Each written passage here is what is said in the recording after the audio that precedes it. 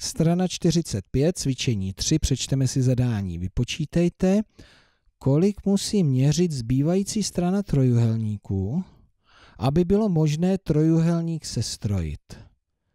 Tak to ještě si potřebuji přečíst dál, tomu moc nerozumím. Úloha A. Jestliže je dán trojuhelník KLM, délka strany KL rovná se 6 cm, délka strany LM rovná se 4 cm, pak pro třetí stranu musí platit délka strany MK je více jak nějaký centimetry a délka strany MK je menší než nějaké centimetry. Aha, já mám dané pouze dvě strany a musím dopočítat, jak bude dlouhá ta třetí strana, aby se to dalo vůbec sestrojit. Takže k tomu já potřebuju trojuhelníkovou nerovnost. Délka strany, délka součet dvou stran musí být větší jak strana třetí. Tady to si trošku načrtnu, abych mohl uvažovat. Takže dejme tomu, že tohle je ta strana 6 cm, 4 cm je méně, 4 cm a já potřebuju dopočítat, kolik je tahle ta dlouhá strana. Když to dosadím sem, tak 6 plus 4 rovná se 10, čili to musí být, čili to C musí být menší než 10. Třeba 9. A potom by se to dalo sestrojit. Takže to můžu vlastně sem doplnit sem. Musí být menší než těch 10. No ale co s tím letím? Jo, já už vím, pozor, já už vím, tady já můžu uvažovat úplně jinak. Já nevím, že tohle to jsou ty dvě kratší strany. Ono těch 6 cm může být ta dlouhá strana a tady tohle může být ta kratší strana a ještě existuje nějaká kratší strana, čili 4 plus něco rovná se 6. Takže 6 minus 4 rovná se 2 a to, kdyby se rovnalo 2, tak to nejde se strojit, takže to musí být tady aspoň 3 cm. Čili musí to být větší než, než 2 cm. No, ono tady je napsáno obtížný příklad. Tak jo, ono to obtížné je. Rozumíte tomu? No, jestli ne, tak se pustíme ještě do toho Bčka.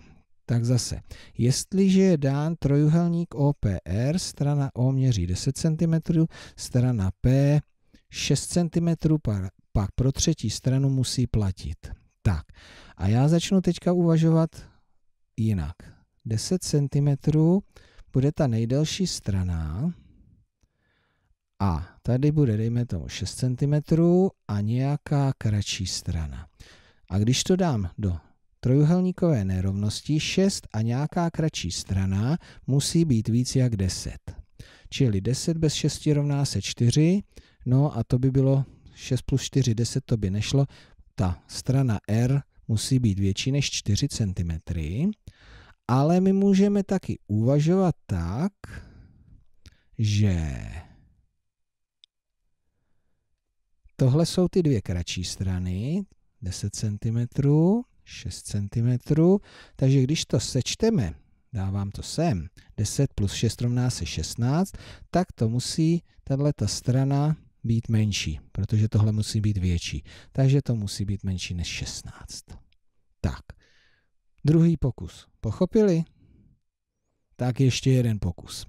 Jestliže je dán trojuhelník STU, eh, strana T 7 cm, strana U 8 cm, pak pro třetí stranu musí platit, uh, že mu, musí být větší a nebo menší něco. Jo? Takže máme dvě možnosti uvažování. Buď tohleto jsou ty dvě kratší strany, 7 cm a 8 cm. Když je sečteme, tak musí být ten součet větší než ta strana třetí. Takže to musí být menší než 7 plus 8, 15 cm. Nebo budeme uvažovat tak, že 8 cm je ta nejdelší strana, 7 cm je jedna z těch kratších, takže tady, no, tohle to moc neodpovídá. 8, e, 7 a kolik chybí do 8, 1 cm, takže tohle musí být větší než 1 cm, čili třeba 2, 2 cm a už to už by to vycházelo. 2 plus 7 rovná se 9 a už bychom to mohli. 3 plus 7, 4 plus 7. Jo? Tak, tři pokusy. Tohle je opravdu obtížný příklad. Jestli jste tohle to nepochopili, nevadí třeba někdy příště.